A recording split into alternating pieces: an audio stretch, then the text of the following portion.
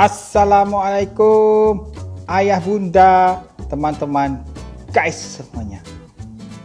Berjumpa lagi nih bersama Berry Semoga sehat semua ya. Ayah bunda pada kesempatan kali ini Berry akan menjelaskan mengenai vaksinasi dan imunisasi. Apakah vaksinasi dan imunisasi itu apakah sama ataukah sesuatu yang berbeda? Saksikan ya. Ayah bunda, teman-teman, guys semuanya. Banyak orang yang menganggap bahwa vaksinasi dan imunisasi itu sebagai hal yang sama. Padahal sebenarnya vaksin dan imunisasi itu memiliki makna yang berbeda loh. Perbedaan vaksinasi dan imunisasi biasanya sering diabaikan karena keduanya memiliki tujuan yang sama guys yaitu meningkatkan daya tahan tubuh terhadap penyakit tertentu. Pertama-tama, Berry akan menjelaskan mengenai apa itu vaksinasi. Dengarkan ya. Vaksinasi adalah proses pemberian vaksin melalui suntikan ataupun diteteskan melalui mulut untuk meningkatkan antibodi guna menangkal penyakit tertentu. Ya, sedangkan imunisasi sendiri merupakan proses dalam tubuh agar seseorang memiliki kekebalan tubuh terhadap penyakit tertentu. Imunisasi terbagi menjadi imunisasi aktif dan imunisasi pasif. Guys, jadi guys, vaksinasi termasuk dalam imunisasi aktif. Apa itu imunisasi aktif? Jadi, tubuh kita itu diberikan zat dari luar berupa antigen dari strain virus atau bakteri tertentu agar badan kita mengenali penyakit tersebut. Nah, penyakit yang diberikan dalam bentuk vaksin itu adalah kuman-kuman yang sudah dilemahkan. Jadi, begitu ada jumlah kuman yang lebih besar lagi nanti datang suatu saat, badan kita sudah siap, guys. Gitu. Beda dengan imunisasi pasif. Kalau imunisasi pasif itu badan kita memang sudah diberikan antibodi dari luar, guys. Contohnya pemberian imunoglobulin gitu loh. Nah, imunisasi aktif ini seperti vaksinasi biasanya bertahan lebih lama guys. Bisa juga seumur hidup. Sedangkan imunisasi pasif seperti imunoglobulin tadi itu hanya bertahan hmm, beberapa bulan. Seperti itu ya. Sekarang Berry ingin menjelaskan cara kerja vaksin di dalam tubuh nih guys, ayah bunda semuanya. Jadi, selain memahami perbedaan vaksin dan imunisasi, penting juga loh bagi kita untuk memahami cara kerjanya. Jadi, vaksin yang dimasukkan ke dalam tubuh melalui vaksinasi tadi umumnya mengandung virus atau bakteri yang telah dilemahkan serta protein mirip bakteri yang diperoleh dari pengembangan di laboratorium guys. Dan sudah melewati uji klinis guys.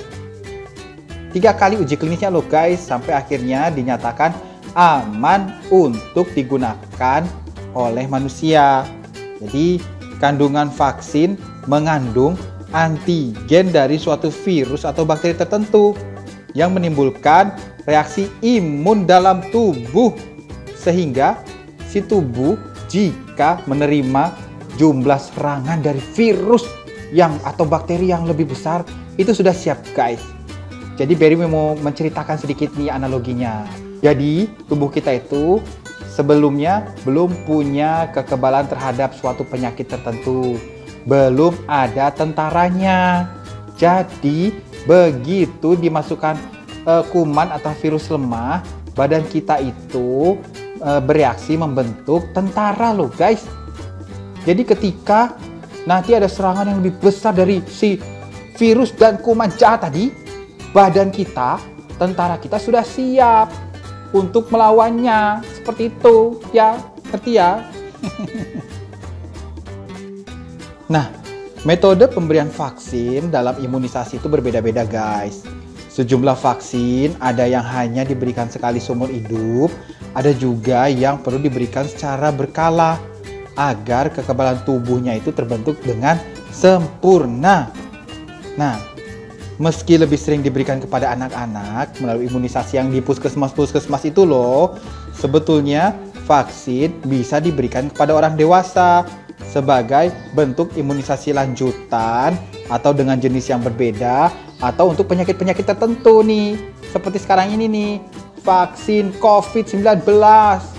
Hah, gitu. Itu kan dulu belum ada ya, baru saat ini ya. Dan orang dewasa perlu. Setiap negara memiliki aturan yang berbeda-beda mengenai kewajiban melakukan imunisasinya guys. Dan jenis-jenisnya juga berbeda. Misalnya Indonesia ini sebagai negara tropis, itu jenis vaksinnya berbeda dengan negara-negara di Eropa.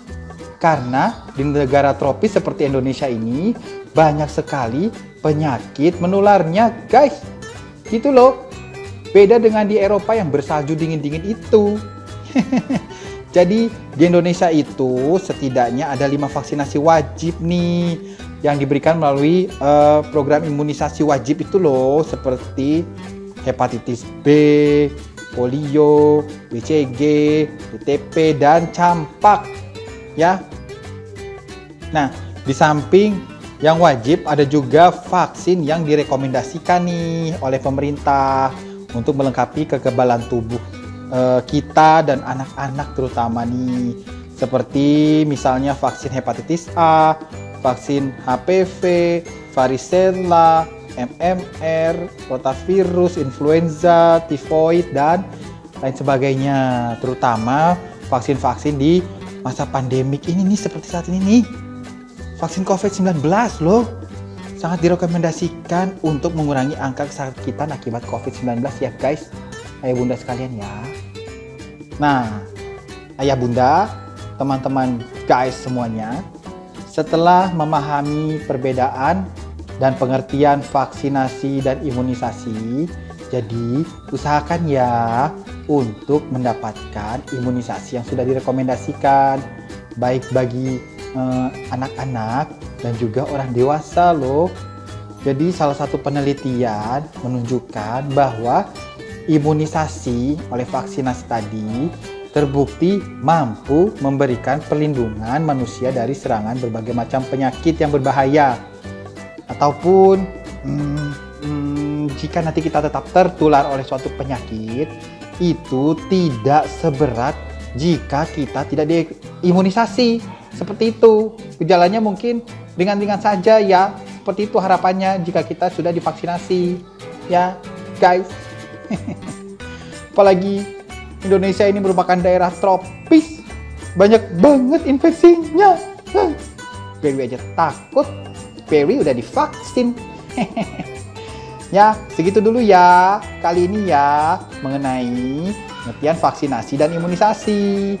Semoga bermanfaat ya. Jangan lupa like, share, subscribe, and comment channel YouTube Perry. Assalamualaikum.